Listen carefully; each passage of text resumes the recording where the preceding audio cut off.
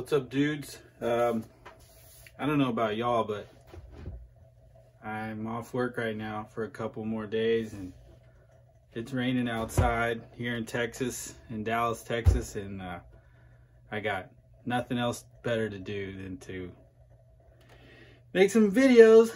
Um, this is my second video for today, and this is uh, we want to look at this uh, Coyote four-wheel drive. Uh, I think SG Racing, um, an Italian company. I think this came out, you know, at some point in the 80s as well.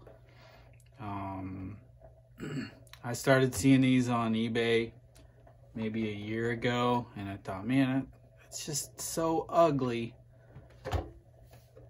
Uh, I gotta get one and see if it's, you know, I, I just never seen anything like this uh, before. Certainly not when I was a kid. Um, never heard of this car, but man, it is just such an oddball. Uh, the the uh, design is just so different from anything else that was out at the time. And yeah, I just thought maybe uh, you guys like to see it. Um, there's some videos out there uh, covering these. There's one a, a guy did um, in another language. I don't know what it was. I apologize, but he uh, he kind of detailed a lot of the upgrades he did. But again, it wasn't in English, so I, I, I couldn't really understand what he was saying. But he he um, I know he covered a lot of the topics, um, a lot of the design flaws uh, for this buggy, and you know we can look at some of those now. But anyways, um, just overall, I think it's a neat looking car. Um, the you know you're clearly you're stuck with really just one option for battery. You got to split your cells. Uh, they're just kind of clamped on either side of the chassis. I guess you might call this a ladder chassis. I don't know. Um, maybe I made that up.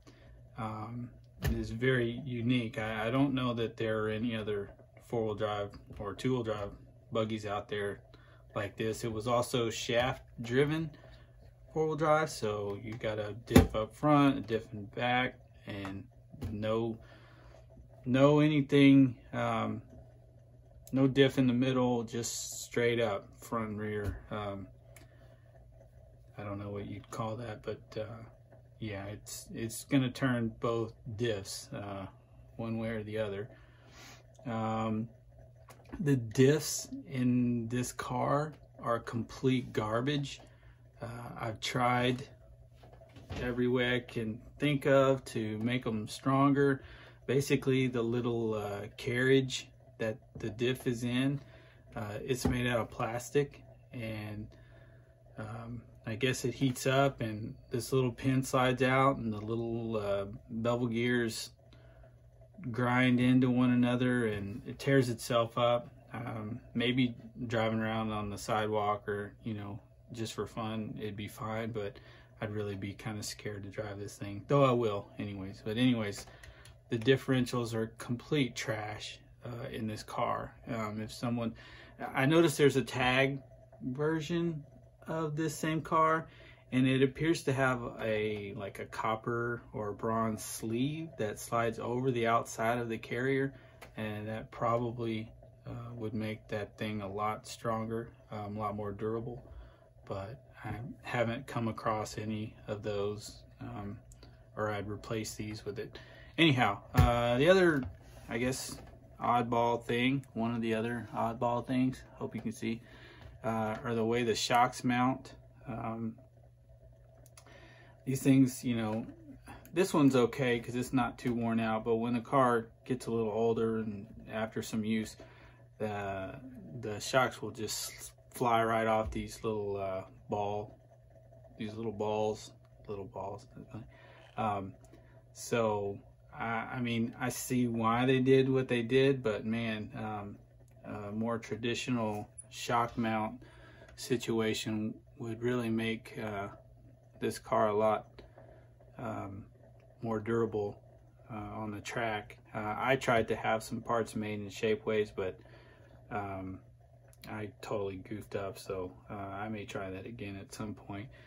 Um, the way the motor mounts there is kind of unique as well. Uh, but I mean, I like what they're going for here with all the the symmetry and the weight distribution.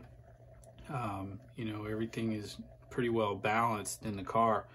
Uh, the original motor mount piece here was this black plastic and is so soft and squishy you could just push on this motor and you could see the gap widening between the pinion and the spur so I had a, a piece made uh, by Shapeways and it's I, don't know you know not not tremendous not tremendously stronger but uh, still it's it's a little sturdier than the original. I'd like to go with an aluminum piece if I could, but it's so expensive. Um, what else is there? Um, yeah, I guess that's really about it. Um, I, I, I will try to run this guy. Uh, it's it's it's pretty smooth. Should should be okay for a quick uh, jam around the uh, down the street. Um, but other than that, uh, really, I just bought it because it's so odd and um, I guess a little piece of history. Uh, this might be a lesson in um, don't do everything just because you can. Uh, I don't know.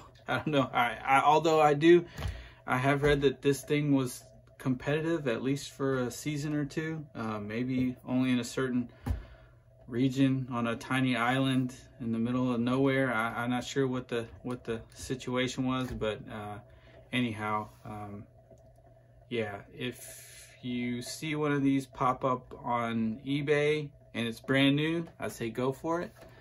If it needs a lot of repairs and looks like it's been abused, I would I would I would definitely recommend you pass on it because you're going to spend a lot of money hunting down parts and um, and you're going to be very disappointed when you get the parts and you realize how crappy they are and how weak they are. I don't know if this is this old plastic is is so old now or what, but uh, yeah, this is just a very brittle, fragile um, relic, I would say anyhow, uh, thanks for watching. Um, probably make some more videos today because like I said, I'm bored. Um, happy holidays to everyone. All right, thanks.